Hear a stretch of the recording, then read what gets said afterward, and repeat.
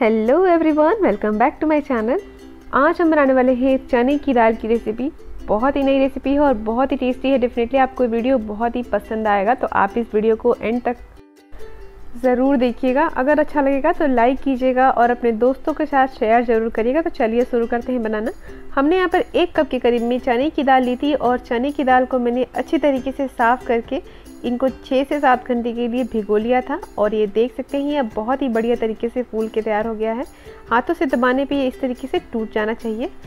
आप कोशिश करें इसको रात भर के लिए भी भिगो दें, क्योंकि इस रेसिपी के लिए दाल का अच्छे तरीके से फूलना बहुत ज़रूरी है।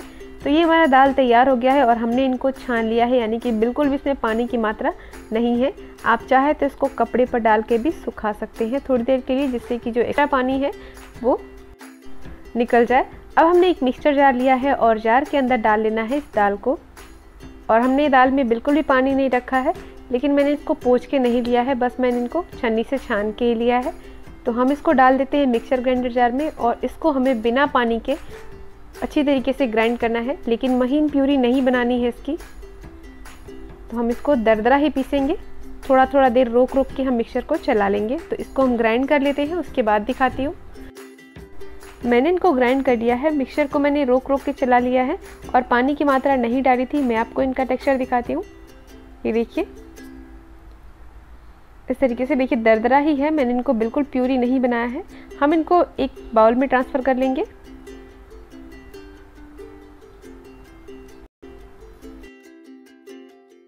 अब मैंने यहाँ पर एक कढ़ाई को गर्म होने के लिए रख दिया है गैस पे। इसमें डालेंगे हम देसी घी। मैंने यहाँ पर एक चौथाई कप के करीब में देसी घी लिया है, उसको हम इसमें डाल देंगे कढ़ाई में।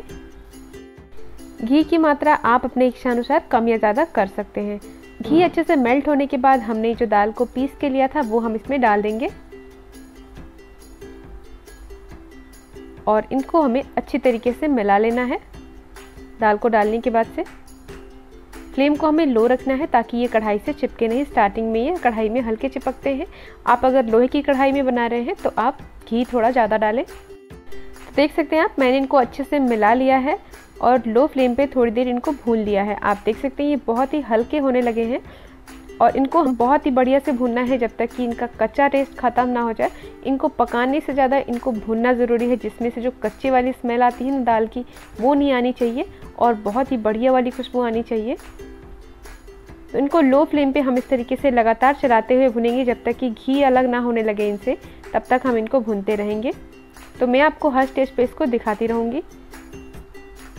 इस तरीके से करते हुए हम इनको भुनेंगे।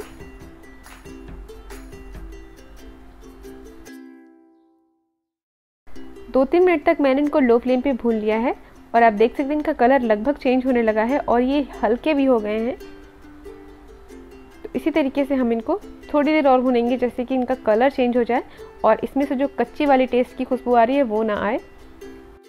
तो थोड़ी देर हम फ्लेम को बढ़ा के इनको भून लेंगे जिससे कि ये जल्दी से इनका कलर चेंज हो जाए। बस इनको लगातार चलाते रहें ताकि ये कढ़ाई में लगे नहीं। देख सकते हैं आप कि बढ़िया से भुन गया है, कितना जल्दी कलर चेंज हो रहा है। ये देखिए। और इसमें से कच्ची वाली स्मेल भी नहीं आ रही है, बहुत ही बढ़िया वाली खुशबू आ रही है। एकदम भुनने वाली सौंधी सौंधी सी। तो ये तैयार हो गया है और इसमें से जल्दी ही घी रिलीज़ होने लगेगा। तो हम गैस का फ्लेम बिल्कुल कम कर देंगे और इनको थोड़ी देर और चला लेंगे।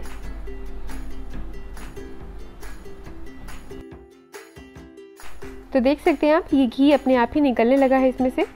तो अब हम इसमें ऐड करेंगे कुछ चीज़ें। तो सबसे पहले मैं इसमें डालूँगी दो टेबलस्पून के करीब में दूध का पाउडर आप इसकी जगह पे दूध भी ले सकते हैं फुल क्रीम वाली। या फिर आप मावा ले सकते हैं, खोया ले सकते हैं, या फिर आप फ्रेश क्रीम भी ऐड कर सकते हैं ये मिल्क पाउडर की जगह पे। अब हम इनको अच्छे से मिलाएँगे और इसके साथ में ही हम इसमें डालेंगे दूध। ये मैंने यहाँ पर दो कप के करीब में लिया है। और ये फुल क्रीम मिल्क है। थोड़ा थोड़ा डालेंगे ताकि ये पाउडर वाली दूध मिलाने के टाइम में गुठलियाँ ना पड़े। तो दो कप दूध हमने इसमें ऐड कर लेना है। थोड़ा थोड़ा करके डालना है, एक साथ में नहीं डालना, नहीं तो गुठलियाँ आ जाएँगी, फिर उनको ख़त्म करना इजी नहीं हो पाएगा। तो अच्छे से मिलाते रहेंगे और दूध को हम डालते रहेंगे।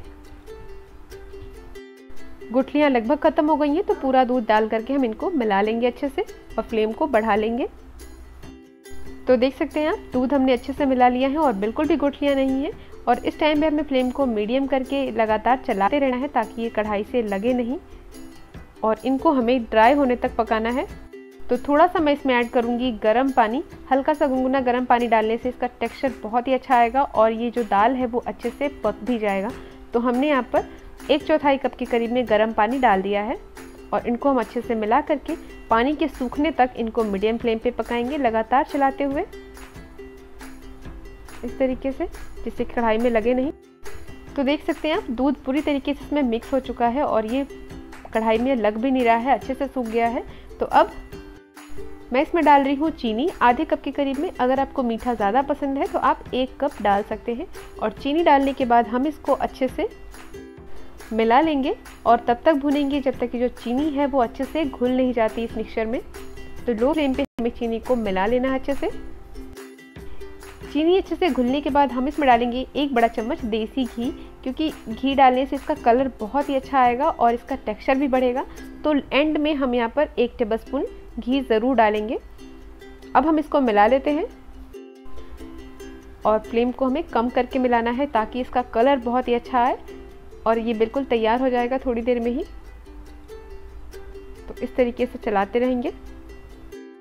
तो देख सकते हैं आप, मैंने इनको लो फ्लेम पे तीन से चार मिनट के लिए भून लिया है और इसका कलर बहुत ही अच्छा आ गया है। अब मैं इसमें डालूँगी दो इलायची को मैंने क्रश करके लिया था, वो भी हम इसमें डाल देंगे ताकि अच्छा फ्लेवर आ जाए। और किशमिश लिया है मैंने, इनको छोटे टुकड़ों में काट के डालेंगे। थोड़े से पिस्ता को भी हमने इसमें काट के डाला है। आप अपने पसंद के हिसाब से ड्राई फ्रूट्स ले सकते हैं या फिर सिर्फ़ किशमिश डाल के भी बना सकते हैं।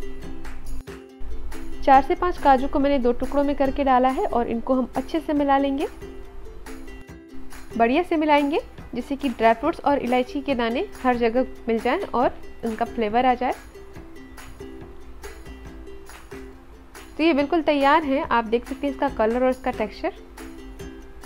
ये हमारा चने दाल की हलवा जो कि बहुत ही दानेदार है और बेसन के हलवे से तो बहुत ही ज़्यादा टेस्टी है। एक बार आप ज़रूर ट्राई करिएगा। अगर आपको पसंद आएगा तो लाइक कीजिएगा और अपने दोस्तों के साथ शेयर कीजिएगा। अब हम गैस का फ्लेम बंद कर देते हैं। और देख सकते हैं आप कि बेसन के हलवे से ज़्यादा दानेदार है और बहुत टेस्टी है तो एक बार आप ज़रूर ट्राई करिएगा इसको। हम इसको निकाल लेते हैं सर्विंग बाउल में। थोड़ा सा ठंडा करने के बाद ही निकालेंगे, क्योंकि ये बहुत गर्म है अभी।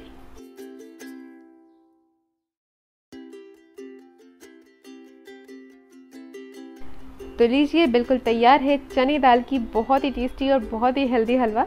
आप इसको 15 से 20 दिन तक स्टोर करके रख सकते हैं फ्रिज में रखें और जब भी इच्छा हो आप इसे गर्म करके खाएँ। बहुत ही टेस्टी है और बहुत ही दानेदार है।